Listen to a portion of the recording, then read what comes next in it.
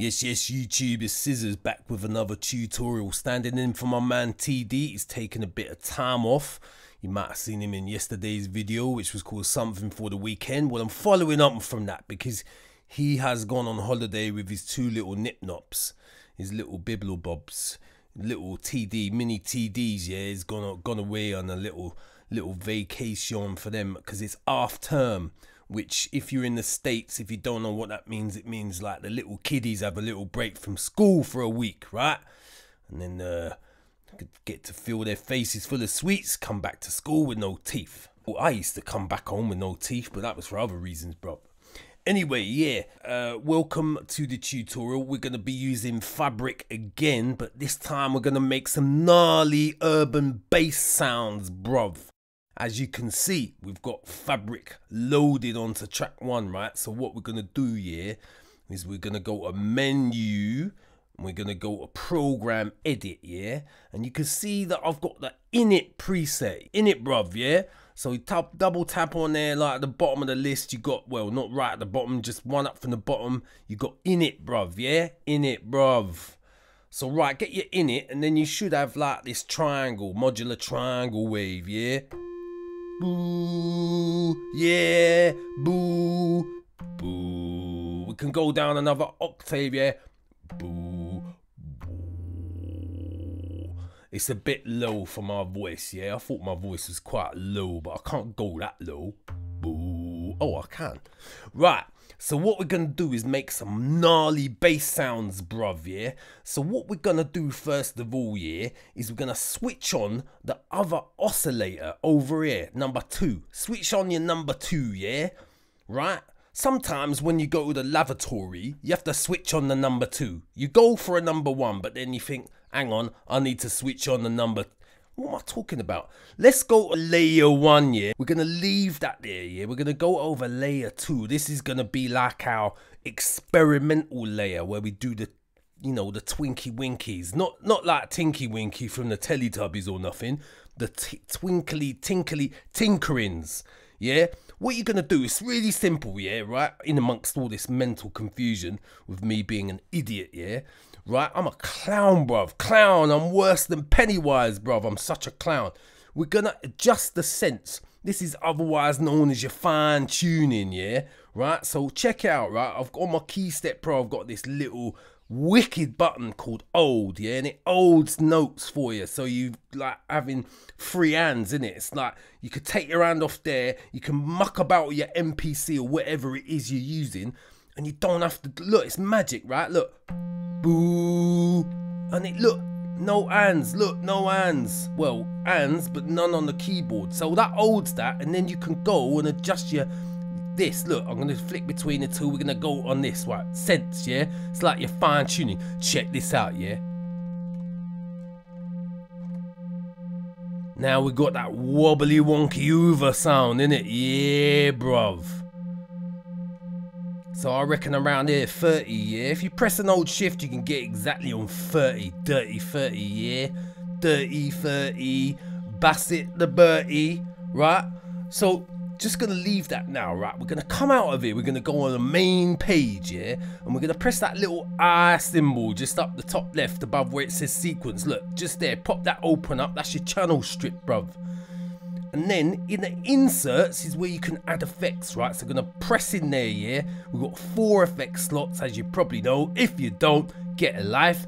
Tap on there, yeah? Oh my days. We're gonna close that up, yeah? And we're gonna go to Akai, right? We're in the manufacturer. So it's just looking for manufacturer, and then we're gonna go to down here distortion grimy, bruv. This is the magic, yeah? Check this out. It's filthy, bruv, just like your mother. Oh my goodness. It's too loud, too loud. Turn it down. Oh my goodness. Oh, my, I don't, didn't like it. Right, let's get the resonance down, right? Now what we're going to do is take hold off of there. Take hold off of that, right? Now, what we're going to do is drop the note. I'm going to play a, a lower note. Actually, let's go down another octave, bruv. Check it out. Oh, yeah. So I'm holding that note again, yeah? One sec, one sec. Thought someone was at my door. They might see what I'm up to. Secret bass business. Right, check that out. Sounds gnarly, bruv. Sounds wicked. Sounds dirty. Sounds rough. Yeah? Sounds sick, bruv. That's what the kids say. Sick. Sounds sick, bruv. Every time I hear a kid go, yeah, sick, bruv, I just think of vomit. I don't think of something wicked. I don't think of like urban dictionary version of sick. I just think of sick. Like, I hope my kids don't grow up saying, yeah, that's sick, bruv. I don't use that word. I don't use that term for things that I think are good. I don't. I've got friends that do. No disrespect. I still love them and all that and all ting. But when people say, yeah, that's sick, bruv, I just think of vomit, bruv. It's whack. Anyway, yeah, back to the tutorial, right? The four parameters that you want to be wary of in here is obviously the output, yeah. You want to bring that down because it might get a bit gnarly, yeah? And then don't worry about the dry wet for this. You can like utilize it in in in in in in, in, uh, in, in another point in your life. But if you muck about with the center and the width this is like the frequency that that kind of distortion is really affecting. So check it out yeah? I'm going to press my q link button go over to this side use my bottom q link. Check this out right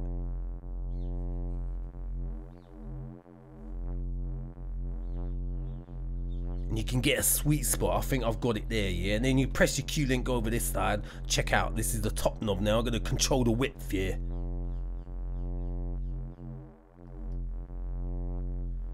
Anyway, I'm looking for a sweet spot because I could automate those and you know modulate them later, but I'm not gonna. This is why the Akai Force is wicked, bruv, because you can you can get modulation on that thing, yeah. That's why I like that Akai Force because you can use an envelope follower, yeah, and set an LFO to wobblate some of that business. But look, listen what happens when we crank up the resonance. Check out.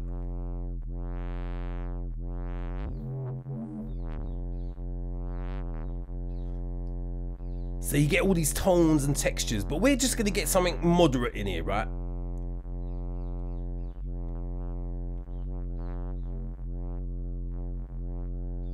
I want all that nice, dirty, grungy graininess at the top of it dirty, grungy greeniness. What am I doing that for? Right, so that's alright, we got distortion grime in. Let's go back to program edit and muck about with some of this business, right? Let's take the old off. And now, remember, we're in layer 2, yeah? You can see up the top there. Yeah, layer 2, on, off. You can switch it on and off from this page as well, which is wicked, wicked, wicked, Right, what we're gonna do is go to the pitch envelope. You could do some mad things with this, bruv. Over here, where they got the gold bounded box over on the right hand side, look, yeah. Yeah, we want to crank that envelope depth up, right? Just for now, you might want to taper it down in a bit. But check this out, right? So it's going to sound the same. I'm going to play it an octave up. And what we're going to do is adjust like the attack of this. It's going to go up. It's going to give it a ramp with the pitch, look.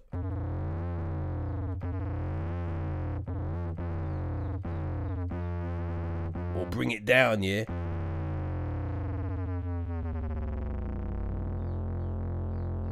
So you got all those different bass sounds as it declines, yeah? You can drag that out and make it go slower, look. Drag that out there. Drag that over there. Check this out, look. It's gonna go up. It's gonna come back down. And then it's gonna level out, bruv level out.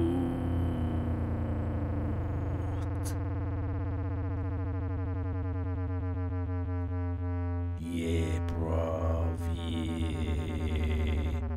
And that'll just go on for ages like that, bruv. And what you can do, yeah, is you can go to menu, you can go to sampler, you can go up to the top left, double tap, you can scroll down to the bottom, bruv, all the way down, look, all the way down, down, down, down, down, down, down.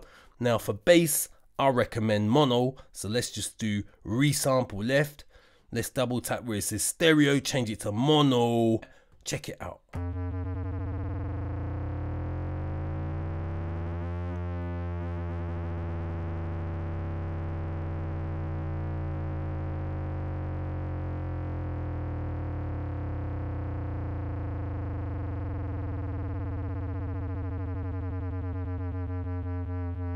Right, let's keep that and go to edit, yeah, process, normalize.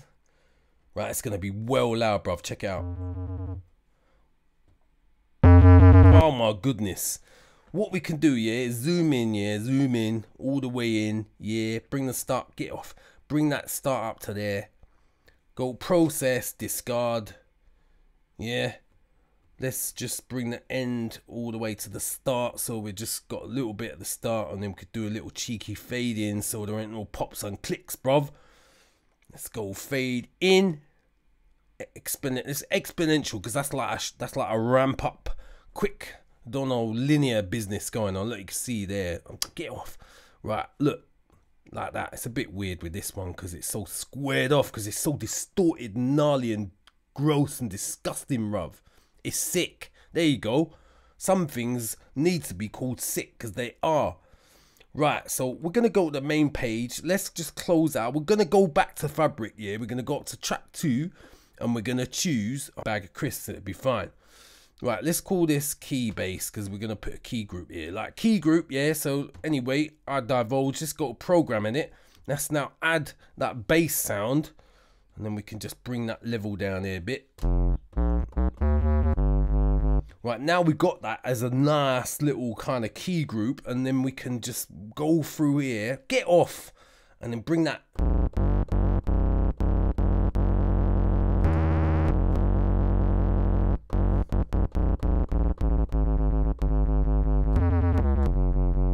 you can do all kinds, bruv. Yeah, you can go in here, like, start mucking about with the filters and ting, like, bring that down, bring the envelope up, bring the attack up.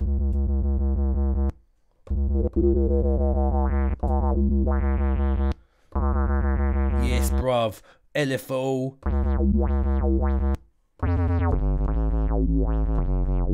You can do all kinds of things, bruv. Anyway, let's go back to the plugin. Yeah, let's go back there. Program edit. Right. That's not off. That's just scratching your ball, uh, scratching the surface, bruv. Hang on, I got a cup of tea here. I don't want it to go to waste. Oh, don't you just hate it when YouTubers eat and drink and you can hear it and ting? It's whack. Stop doing it. It's unprofessional and it's gross. Yeah, it's sick.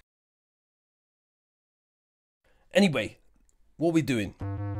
There you go. So like I, I highly encourage you to muck about with this pitch envelope. Now, the only thing that I would like to see in it is some way where you could press a button, like a little like checkbox or something, and it duplicates what you've got going here, right? Otherwise, you've got to go like layer two. Let's have a look you got to go, all right, we're at plus 12 on the envelope. So you got to go back here, to go pitch, you got to go on the envelope, uh, boring.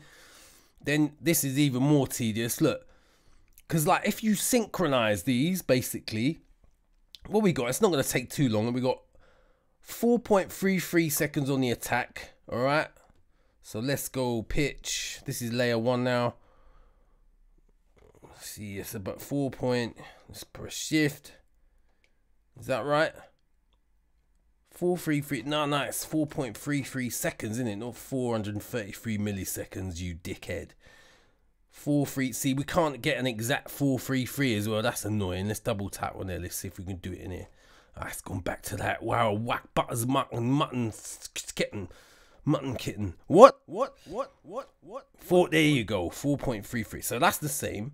Now we got to go back to layer two, bruv. Yeah, yeah. And we got a decay. What of 32 seconds? What about this? What about this second attack sound? Attack, second attack, second attack there. I think that is set. Yeah. And we got the level attack level 300%. Right. Let's go back there. Level three. Where is it? That's gonna bring that up. There you go. Nice. And now because if they're out of sync, that's when you start getting things going well out of phase and they don't sound that great. But if we've got the same pitch envelope going over both oscillators, it's going to sound wicked, bruv. Sorry, I'm so aggressive with that. But what's that? 32 seconds and then minus 100. All right, we're nearly there. So was that the sustain? See, I'm forgetting it. It's, it's annoying. Sustain decay. So 32 seconds and minus 100%. Right. So 32, that's a long time, bruv, isn't it? 32 seconds, that's about as long as I last in bed with my missus. What am I telling you that for? What am I telling you that for? What am I telling you that for, bruv? Right, and then I think the release. Let's go there. That's minus 100 as well, and 32. So it's the same for the both of them. Right, okay. Right, 32 minus 100. All right, now check it out. You see, it stays in phase now, yeah? So it is nice to have them out of phase, but we've already, as you might remember, using our experimental layer, as I called it, we've already got this offset here, look. So if we muck about with that, we can control that with the pitch envelope. It just, it's got, it's got, wicked, bro.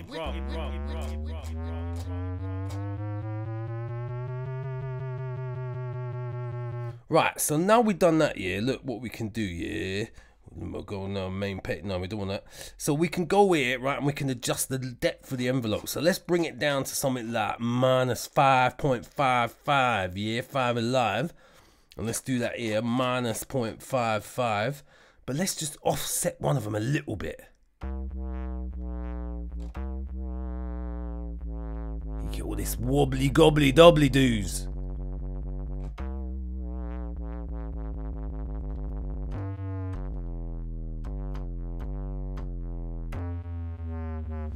Anyway, you can see the scope from breadth, from depth, from width, and up, and up, and up, and scope, and dope, and wicked sickness that you can get out of the Fabric plugin synth alongside my favorite distortion in the MPC, the grimy bruv. And we've not even mucked about with after things we could do in here, bruv. It's mental. Look, the drive is only up 50%. Look.